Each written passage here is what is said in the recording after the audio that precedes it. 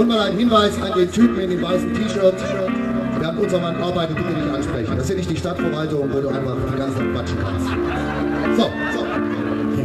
War ein Spaß. Wir bleiben in Dirty Dancing, Freunde. Und ihr seht schon, langsam senkt sich die Nacht über Leipzig. Und das ist Zeit für Romantik.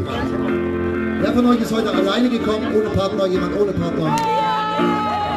Er ist mit Partner gekommen, aber hat ihn zwischenzeitlich verloren. Und dann kommen wir welche. Ich gehe nur ein Bier holen, nie wieder gesehen.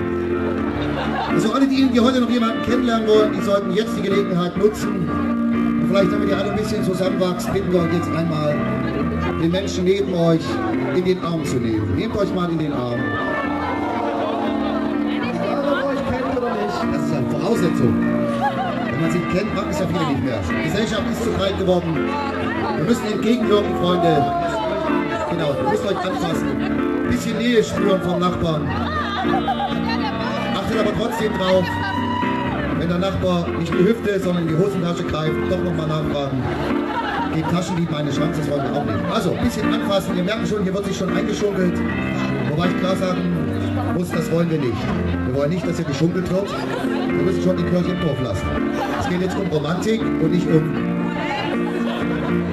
weiß aber, warum so ein bisschen dieses Volksmusik-Feeling aufkommt. Vielleicht wegen einem Schirm, das ist eine Leihgabe, das ist der Originalfallschirm von den Wildecker Herzbuben gestiftet für das Stadtfest Leipzig. Mal einen kleinen Applaus zum Sponsoring, macht nicht von alleine. Naja, der zweite hängt auf dem Marktplatz. Die beiden sind wirklich für Leipzig. So, jetzt also bitte nochmal anfassen, nicht dass wir das Ziel aus den Augen verlieren. Bisschen lieb haben, in die Augen schauen und diesem Song lauschen aus Dirty Dancing in the still of the night. In the still of the night,